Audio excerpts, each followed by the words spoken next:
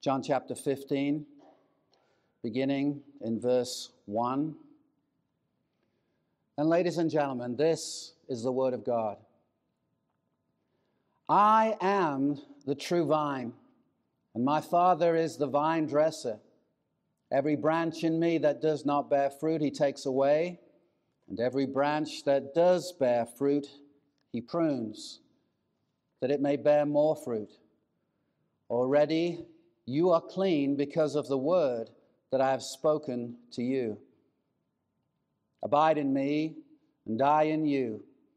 As the branch cannot bear fruit by itself unless it abides in the vine, neither can you unless you abide in me. I am the vine, you are the branches. Whoever abides in me and I in him, he it is that bears much fruit, for apart from me, you can do nothing. If anyone does not abide in me, he is thrown away like a branch and withers, and the branches are gathered, thrown into the fire, and burned. If you abide in me, and my words abide in you, ask whatever you wish, and it will be done for you. By this my Father is glorified, that you bear much fruit, and so prove to be my disciples. Last words are vital words. Perhaps you can recall the last words of a loved one, family member, a friend. Those words ring in your ears, not only for days and weeks, but oftentimes decades. I remember the last words of my mother to me. They're very precious. Not everyone has that history whereby they can recall their, the last words of a loved one with affection. I have that privilege, but last words are certainly vital words. And when you know it's going to be your last words, you put particular emphasis on the most important things to say. As a pastor, I've been around folk that are near death and know it, and they talk about important things. They don't speak of trivial things. They don't say, you know, all my life I wanted our front door to be green, and we never got my wish. They talk about big things. They tell me when you see my dad, when you see my mom, when you see my son, would you tell them this? Important things. And Jesus is saying some important things, knowing he's about to die. He's going to be raised again from the dead, but this is really important material. It's the final night with his disciples before his arrest. The betrayal by Jesus, by Judas, is already in process, and within 24 hours, he's going to be dying the very next day. And here Jesus uses a word picture. He's illustrating something vital, something vitally important, the nature of genuine salvation, what true salvation looks like. Now, there's many things Jesus could have done here uh, to make his point. But he chose this analogy at this time to communicate the truth. He, he could have done a, a, number of things. One option would be to do uh, what some would do if they take on the evangelical idea of what salvation is, which Jesus didn't hold to, but it's out there and it's prevalent, is he could have said, okay, guys, uh, check the back of your Tanakhs the, the Old Testament, as we call it, the Hebrew Bible, uh, get, get your Tanakhs out. And, and um, what I want you to do is um, show me the day and date that you raised your hand in one of my services, that you walked the aisle, that you said a prayer, that you signed a card. Show me that. Uh, Thomas, yeah, you, bring it up here. Thomas, I want to see where it says, I, Thomas, confess Jesus as the Messiah and as my personal Lord and Savior. Day, month, year. I want to see that because that will show me and you after I'm gone that you're in the kingdom. You know, he didn't do that. He could have done that, but that's not what he did. Mainly because that's a totally unbiblical way to view salvation. We're not saved because we say a prayer, although saved people will pray. But it's not the saying of something that gets us in the kingdom. It's not the profession of our faith alone that saves. It's the possession of faith. It's actually having true faith. That is a faith that will be professed. We must confess with our mouth Jesus as Lord. Romans 10, verse 9. But we're not saved by saying a bunch of things. Didn't Jesus say, Many will say to me, Lord, Lord, but he will say, I never knew you. Instead, here he speaks about fruit fruit that is authentic, fruit that is genuine, fruit that cannot be self manufactured. It has to be born from a relationship with Jesus Christ. And, ladies and gentlemen, a true disciple is known by his fruit. Fruit demonstrates true discipleship, true conversion. It's far more than mere profession because we're not saved, one, one more time, by a profession of faith, but by the possession of it. It's a faith that will be professed, to be sure, but true conversion takes place in the heart and flows out of the heart. Out of the abundance of the heart, the mouth speaks. And if there is no heart alive to God, nothing we say will bring that to pass. The 1689 London Baptist Confession in modern English in chapter 11, article 2 reads like this Faith that, je- that receives and rests on Christ and his righteousness is the only instrument of justification, yet it does not occur by itself in the person justified, but it is always accompanied by every other saving grace. It is not a dead faith, but works through love. I believe that is a summary of scripture teaching. You see, if someone were to come to you and say, I've just been involved in a really horrific car crash, and you take a look at their car and don't see a scratch on it, there's reason to doubt the testimony. If there's a car crash, there'll be evidence to show it. There'll be dents, there'll be crumpled up metal somewhere, there'll be signs that the impact has occurred. But if that car looks like it's just been bought new from a car dealership, doesn't that cause you to question the testimony? I've just been involved in a horrific car crash. Well, which car was it? The one outside? You go look at it and it's spanking new, and you think, hmm, I'm not calling you a liar. It's not for me to judge. But um, I'm not sure. I'm not sure. Now, fruit is not the basis of our salvation. Works, the things we do, are in no way the basis of our salvation. But a saved man, a saved woman, a saved boy and girl will produce works, but they're never the basis of their standing before God. Works are the fruit, not the root of our salvation. A clear scripture on that is Ephesians chapter 2, verse 8, 9, and then 10. For it is by grace you have been saved through faith, and that not of yourselves, it is the gift of God, not a result of works, so that no one may boast. For we are his workmanship, created in Christ Jesus for good works, which God has ordained that we walk in them. We're not saved by our works, we're saved for good works. And there's a big, big difference. But the faith that justifies is not a dead faith. And that's the point of James chapter 2, as you remember. You may say you have faith, you may profess you have faith, but if you've got the real thing, show me. Show me. Show me. True faith that justifies is not dead, it will produce fruit, and get this, immediately. There'll be a change. If there's a car crash, it's not 20 years later that you see the dents. There'll be an immediate impact and an impact that can be seen. Something will have changed.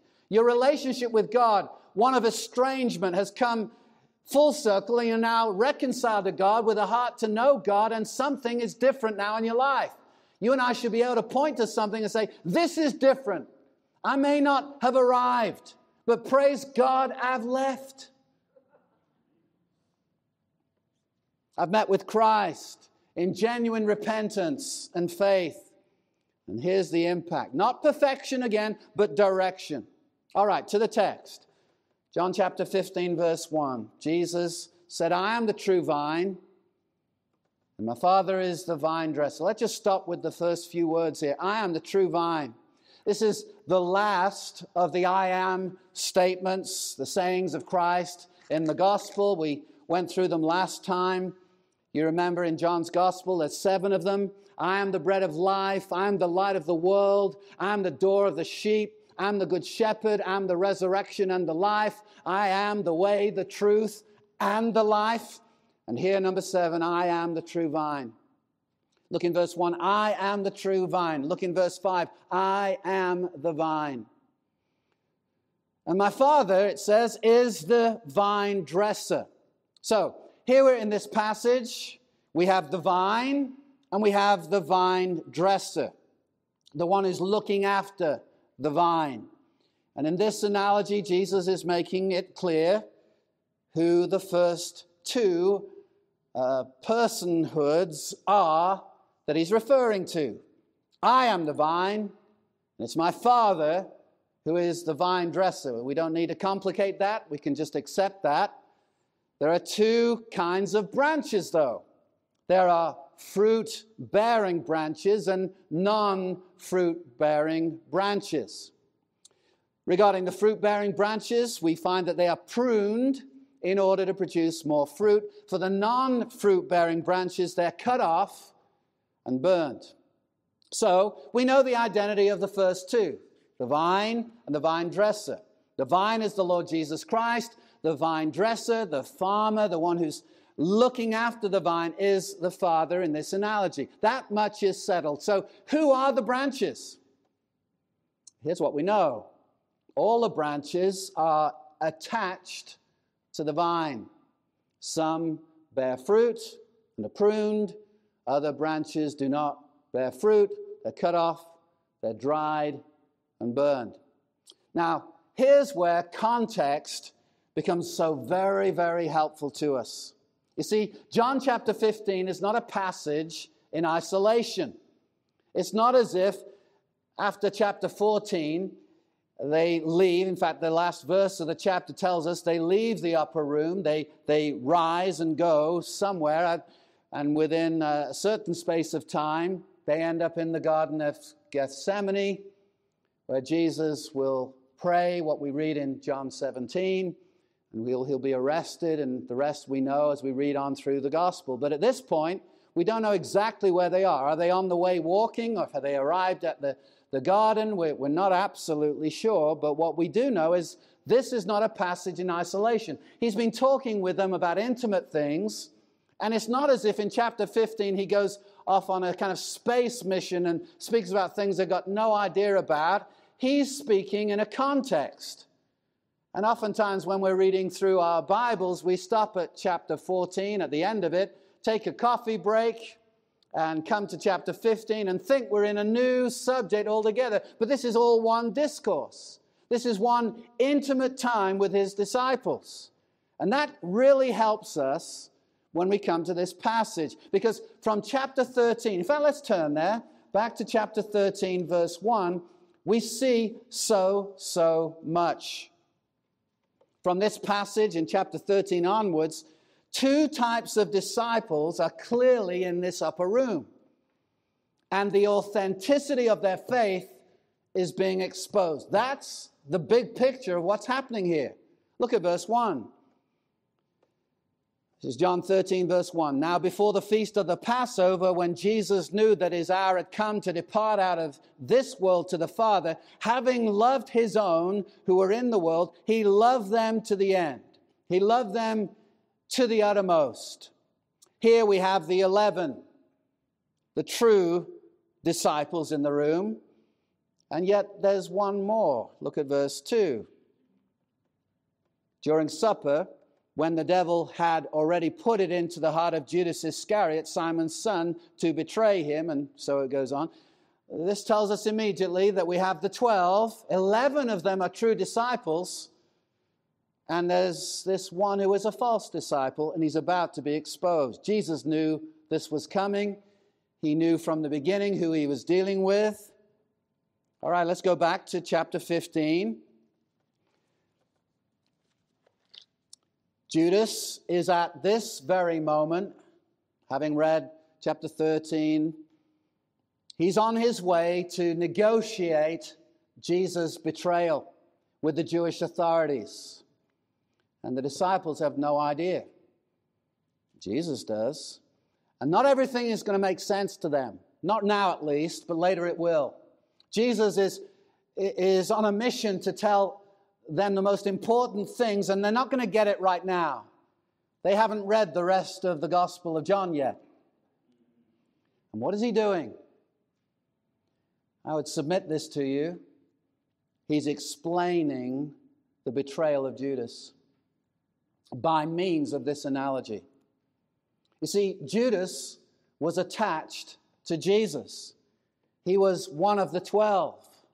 He'd have been a, around Jesus for over three years, doing what the others were doing, praying for the sick and seeing results. No one were coming to Judas and say, Look, uh, when you pray, nothing happens.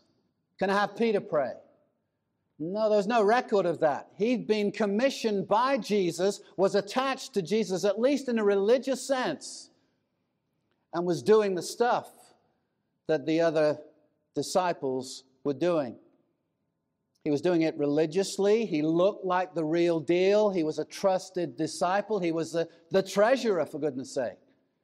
But there was no life, and there was no fruit. And here's a clue when we can think about our own hearts in this, because this is not just a lecture, this is God speaking to us through His Word.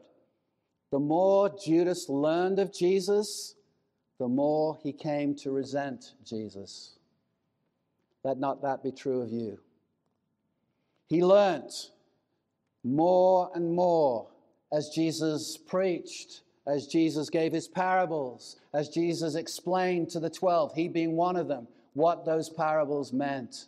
And the more he heard, the more frustrated he became because he was not on Judas's agenda. Judas wanted the overthrow of Rome. Judas was a zealot.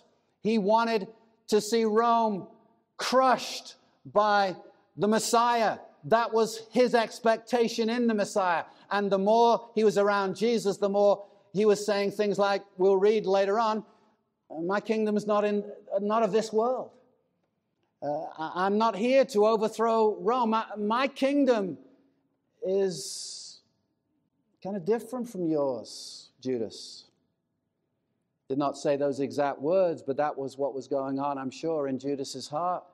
He wasn't on Judas' agenda. He signed up, and this was not what he signed up for. What's the condition of your heart? I hope that the more you know of Jesus, the more you love him.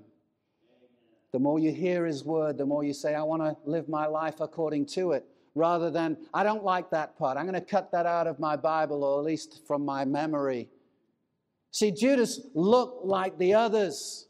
If we were to take a photograph of the 12 going back in time where we were allowed to do, we couldn't just look at the 12 and say, I can see Judas, look at those shady eyes, look, there's something wrong. No, people didn't know. He was the trusted one. There was nothing about his appearance that made him look like the betrayer. He was still doing what the others did for a time, actually, a long time. Over three years. That's a lot of services, right? That's a lot of work. But he never was a true disciple. Go back in your Bible to John 6. We'll just stay in John for this. John 6, look at verse 70. Jesus answered them, Did I not choose you, the twelve, and yet one of you is a devil? He spoke of Judas, the son of Simon Iscariot, for he, one of the twelve, was going to betray him. Jesus knew exactly who he was. Look at chapter 17. On in your Bible, past 15 to 17. And Jesus prayed. One of the things he prayed, he prayed in verse 12 While I was with them, I kept them in your name, which you have given me. That's a theme you'll see repeated over and over in John's gospel. He keeps those given to him. I have guarded them, and not one of them has been lost except the son of destruction, that he that the scripture might be fulfilled. The obvious implication was he was not one given to him, but he kept the others. Judas was never the real deal. You see, some, let's go back to chapter 15, some use the John 15 passage to teach you you can lose your salvation. Look at Judas. But that's a misreading of the text. He was never a true disciple. And John plainly teaches what is described by theologians and those who study theology as the perseverance of the saints. Have you heard that phrase? Some call it the preservation of the saints. God causes those that He set His love on in eternity past to come to Him and be preserved and never lost. Go back to John 6 for a moment. John 6. Let's see where this theme occurs. Verse 37. Looking a group of people in the eye who did not believe, the verse before, verse 37 tells us that. In fact, let's read it. But I said to you that you've seen me and yet do not believe. And now he explains their unbelief. All that the Father gives me will come to me. What's the implication? You're not coming to me because Father didn't give you to me. All that the Father, not some, not 80%, but all that the Father gives me will come to me. You have to come to Jesus to be saved. And all that the Father gives me will come. They'll come to me. And whoever comes to me, there's a 50 50 chance they'll never be cast out. Is that what your Bible says? I'll never cast them out. Look at verse 38. For I've come down from heaven not to do my own will, but the will of him who sent me. And, okay, Jesus, I, I would you agree with me before we read any further? Jesus always does the will of his Father. Amen. Can you imagine Jesus saying, you know, you, I, I, you gave me three tasks and I did two of them, but I, I thought I didn't need to do the third one? No, he always did his Father's will.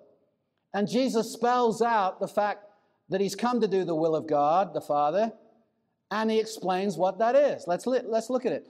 For I've come down from heaven, verse 38, not to do my own will, but the will of him who sent me. And this is the will of him who sent me. All right, let's let our ears prick up. What's the will that Jesus will do of the Father?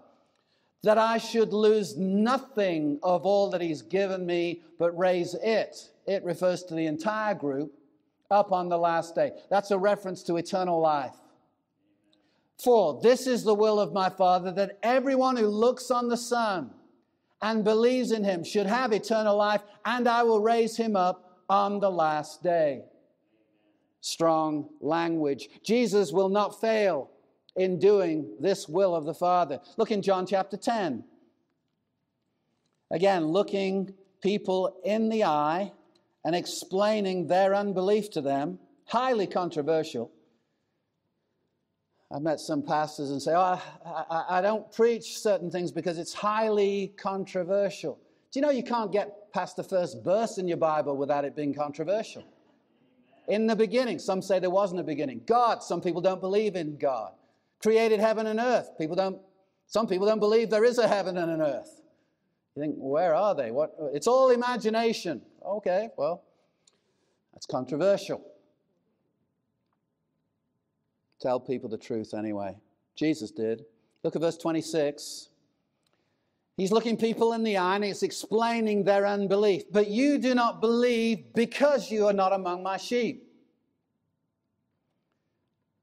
Oftentimes we read that the wrong way round. Well, they're not sheep, but if you believe, you can become a sheep.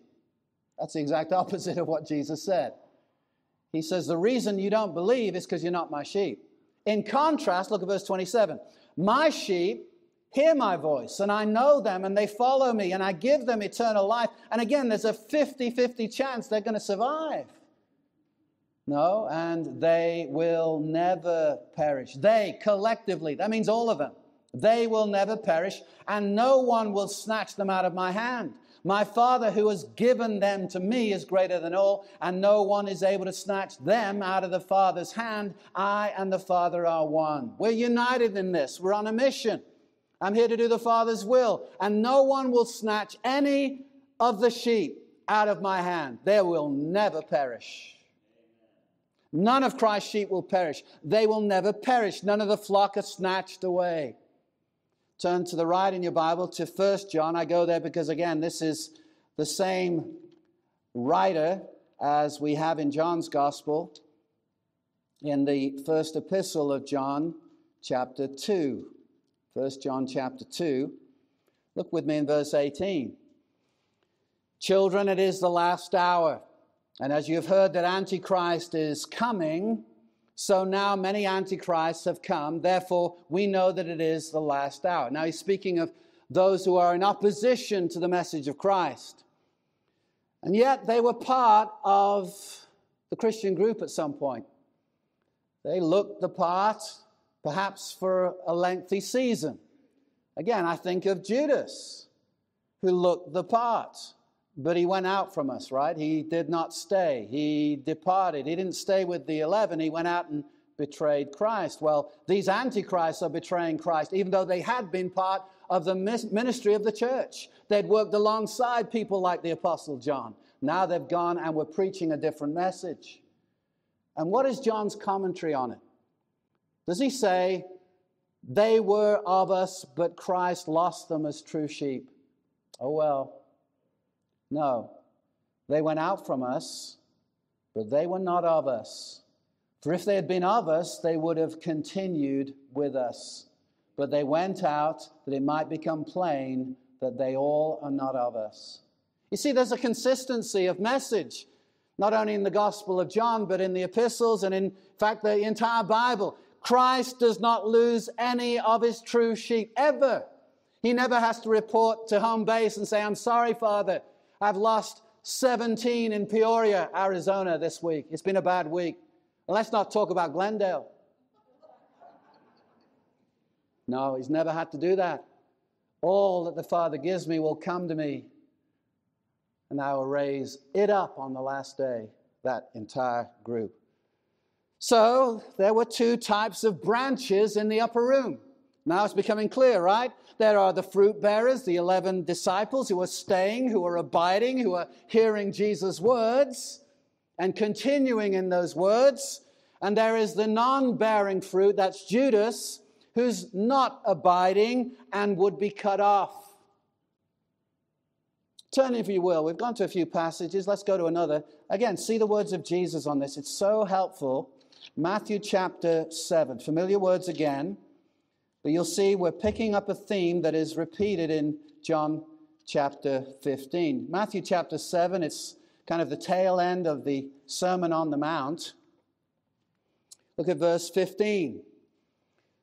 Matthew 7 15. Again, Jesus' words Beware of false prophets who come to you in sheep's clothing, but inwardly are ravenous wolves, savage wolves. You realize this? When someone comes with a message that is not the true message of the Bible, proclaiming a different God and a different gospel. They may be outwardly looking like they're doing good in the community, but it's actually worse than a drug pusher going around the, the houses. With a drug pusher, you can simply die. With a false teacher, you'll die and go to hell. Verse 16 You'll recognize them by their fruits. Oh, consistency of message. You'll recognize them, the false prophets, the false teachers, by their fruits.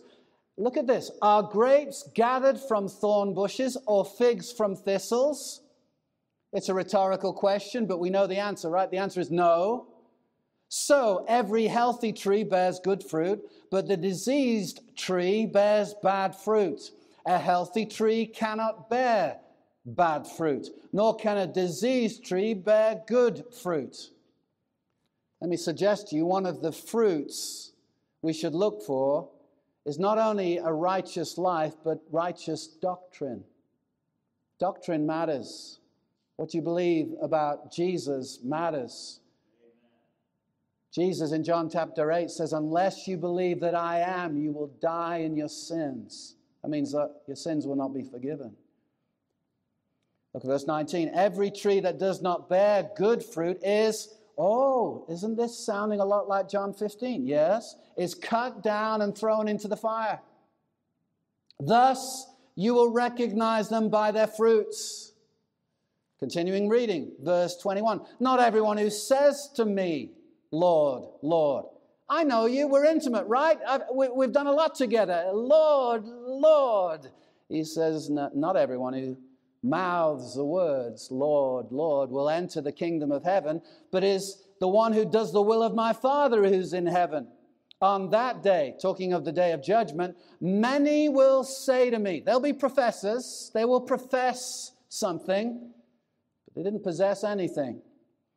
Many will say to me, Lord, Lord, did we not prophesy in your name to speak forth your word and cast out demons in your name and do many mighty works in your name? Now look at verse 23 because I'm going to submit to you there's a consistency of message even in this.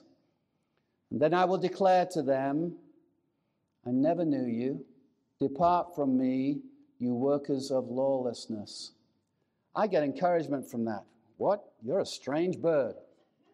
I do. You know why? Because I not only read what it says, I read what it doesn't say. He does not say, I knew you once, but you blew it. He said there was never a connection, there was never a relationship. I knew of you, but I never knew you, not in a redemptive sense. Jesus never loses a true sheep. And he can say to the, to the goats, Never knew you. Not, well, I, I knew you for three months. That, that little time when you, when, you, when you played church for a while, you, and, and then sadly we lost you. No, I never knew you. In contrast, we've already read it. I know my sheep. My sheep know me. Are the lights coming on? Are you seeing the consistency of the message? I hope so. Jesus is very clear. I love his clarity. Never knew you. Not, I knew you for a long time, but if you just kept going, you'd have got that. No, I never knew you. Never knew you. Now, when we understand that Jesus is explaining Judas's betrayal, we're in a position to read the passage. And this truth becomes very plain to see. Again, let's go to verse 1. I am, John chapter 15, the true vine, and my Father is the vine dresser. Question Why does he describe himself as the true vine? Answer Because there was a false one, the fruitless and unfaithful vine. Theologians refer to something called the analogy of faith the analogia fidei. The idea here is the best interpreter of Scripture is the Scripture. Rather than running to someone else and a commentary, see what the Bible has to say on the subject. When you're reading a passage, say, uh, what does this mean? Does the Bible address that subject elsewhere? Does it use the same terms elsewhere? Go to that first before you go to someone else. The Bible is the best interpreter of the Bible. You start with clear passages on a subject. And once you grasp the truth, when you know that's the subject at hand, that's what it's talking about, you go to the more unclear passages. Have you noticed some passages are less easy to understand than others? Peter writes of that in 2 Peter. He says some things of the Apostle Paul are hard to understand. I think, thank God for you, Peter. It's not just me. But that's why we study, because we believe there is a consistency of message. And the more you study, the more clarity comes, right? So that you say, wow, that was unclear. Now, through study of the scripture, I, I know it better. I can see what's being said here. Otherwise, there's no point to study. Oh, I've been studying for three years. Do you know the Bible better? I'm more confused than I've ever been in my life. No, that, something's wrong. You need to check out who you're learning from. If there's a mist in the pulpit, there's a fog in the pew.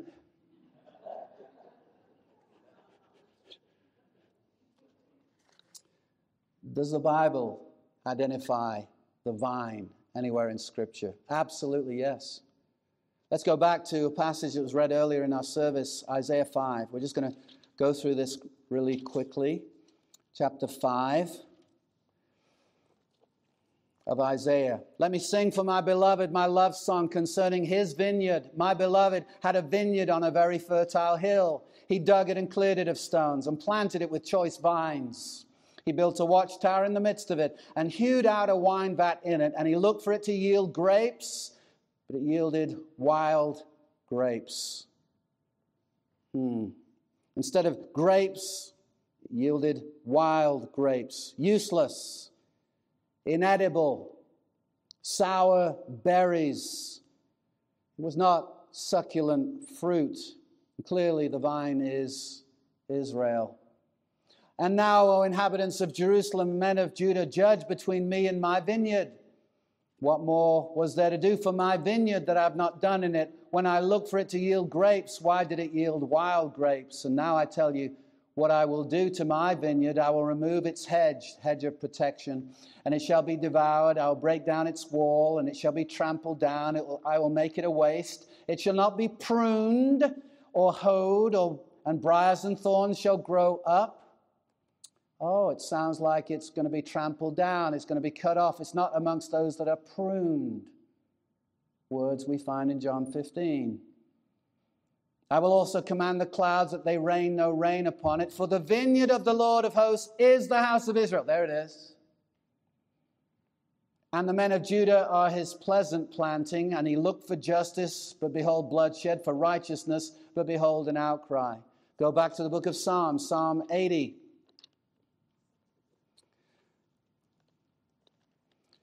Actually, if you're still in Isaiah, go to chapter 27 for a moment. 27, verse 2. Let me read it. In that day, a pleasant vineyard, that's Isaiah 27, 2. A pleasant vineyard, sing of it. I'm the Lord, I'm its, I the Lord am its keeper. Every moment I water it, lest anyone punish it.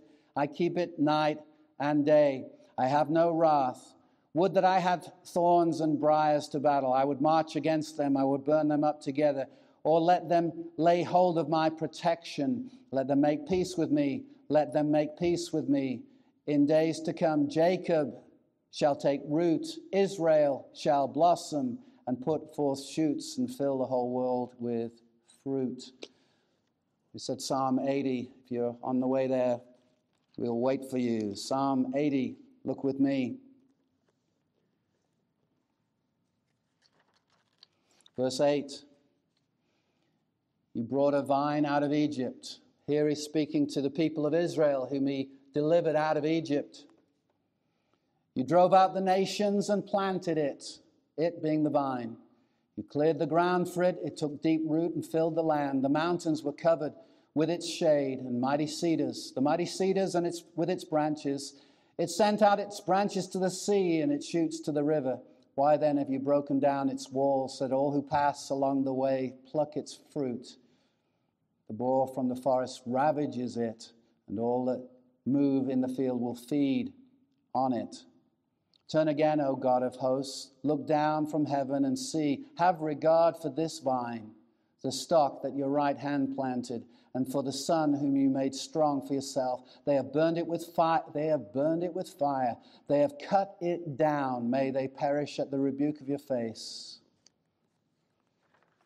We're skipping over some verses in Jeremiah. Let me just re- reference them. Jeremiah 2 21, it says, Yet I've planted you a choice vine, speaking of Israel, holy of pure seed. How then are you turned degenerate and become a wild vine? Jeremiah 6, verse 9. Thus says the Lord of hosts, they shall glean thoroughly as a vine the remnant of Israel. Like a grape gatherer, gatherer, pass your hand again over its branches. Do you know Ezekiel 15 is all about Israel as the vine? Ezekiel 17, Ezekiel 19, Psalm 80, we've seen it. In Hosea 10, verse 1, we read, King James Version, Israel is an empty vine. And we know the record of history, not all Israel recognized Messiah when he came. John had made that clear in chapter 1. You remember in verse 11, he came to his own, and his own people did not receive him, but to all who did receive him who believed in his name, he gave the right to become children of God. So, in summary, these are the branches cut off, like Judas. He's explaining Judas and his betrayal. And in contrast, I am the true vine. Jesus does this often, doesn't he? There were types in the Old Testament that foreshadowed, were a picture of what was to come in Jesus Christ. And he says, I'm the true vine, I'm the true Israel. And that just leaves us ready to look at the rest of the text. And we're going to read it and then simply stop and we'll pick it up next time. But now we've got a basis for looking at it because we've determined the four parties here the vine, the one who looks after the vine, and the two types of branches. Verse 2 Every branch in me that does not bear fruit, he takes away, and every branch that does bear fruit, he prunes, that it may bear more fruit. Already you are clean because of the word that I've spoken to you. Abide in me, and I in you. As the branch cannot bear fruit by itself unless it abides in the vine, neither can you unless you abide in me. I am the vine, you are the branches. Whoever abides in me, and I in him, he it is that bears much fruit, for apart from me you can do nothing. If anyone does not abide in me, he is thrown away like a branch and withers, and the branches are gathered, thrown into the fire, and burned. If you abide in me, and my words abide in you, ask whatever you wish, and it will be done for you. By this my Father is glorified, that you bear much fruit, and so prove to be my disciples. That's what this passage is all about the proof of being a true disciple. And that proof, ladies and gentlemen, is fruit. As the Father loved me, so I have loved you. Abide in my love. If you keep my commandments, you will abide in my love, just as I have kept my Father's commandments and abide in his love. These things I have spoken to you, that my joy may be in you and that your joy may be full. So, ladies and gentlemen, how would you describe your relationship with the vine? your relationship with the Lord Jesus Christ? Well, I respect him. I admire him. You know, you can have all that and not be a true disciple. A true disciple is one who looks to Jesus as the source of their life. For the true disciple, all I want to do is know him. I want to know him. I want to do his will. I want to follow him. I want to know what his word says. What he says goes. He's the Lord, and I'm his willing doulos in Greek. Means slave. I'm a slave because I want to be. Only by living in living, vital union with Jesus can any of us bear spiritual fruit, pleasing to God. So ask yourself is Jesus my life? It's the life of Jesus in the branch causes fruit to emerge. What do his words mean to you today? I trust there's no disconnect between Jesus and his words. Do you have a love affair with Jesus? Oh, yes, I love him. Do you have a love affair with his words? Oh, not so much. There's a disconnect. There shouldn't be one. Are you abiding in him? Are his words abiding in you? Is his word producing in your life? Ladies and gentlemen, we so need to know the vine. We need to know the Lord Jesus. And the way to do that is by what is described as repentance and faith. Repent means to change your mind, it means to change your course. It's a 180 degree turnaround. You're going one way, you repent, you turn around. You've been running from God, now you're turning to God. You've been doing your thing, now you're going to do His thing. You're now living to do what He says. Now, not in perfection, but in direction. If there's been no turn, there's been no repentance. Repent and believe the gospel. What's the gospel? It means good news. To have faith is to trust, to put your alliance on. If you were to hear that someone running into this sanctuary today say, The building's on fire, you wouldn't say, Yes, amen, we believe that. There'd be a reaction. Some would panic, some would look for fire extinguishers, some would call people to come and help, some people would show leadership and so say, There's the exit, there's the exit, follow me. But we wouldn't do this sit down and say, I've always believed that. Do you believe the message of salvation? Message that God sent his Son into the world because we have been despicable rebels, and in his love for us, he became a man to save us.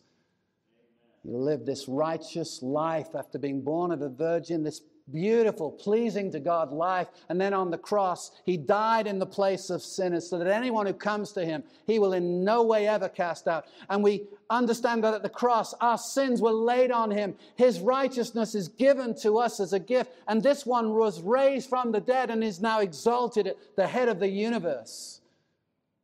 This is not some little hobby Christians have that allows us to get through life in some way by thinking positively. This is the message of God for the world. God so loved this world, He gave His one and only Son that anyone who believes in Him, whoever does it, will in no way perish, be cut off, be burnt, but instead have eternal life. Have you come to Him? Have you repented? Have you come to Him on His terms? Say, Lord, I surrender. Uh, my life is yours. If you have not, do that this day. There is nothing more important than this. Let's pray. Lord, we thank you for your holy word, and we now ask that as we contemplate your words, you will work richly in our hearts and give us what we cannot produce by ourselves true, genuine fruit. Fruit that will show a heart that is being made right with God, that now beats to know you. Though we fail and though we sin, the regenerated, made alive heart, in seeing our sin, turns from it and says, I'm sorry, Lord. I repent. I confess my sin. I turn from it. Forgive me. Today, if you hear his voice, harden not your hearts. In Christ's name.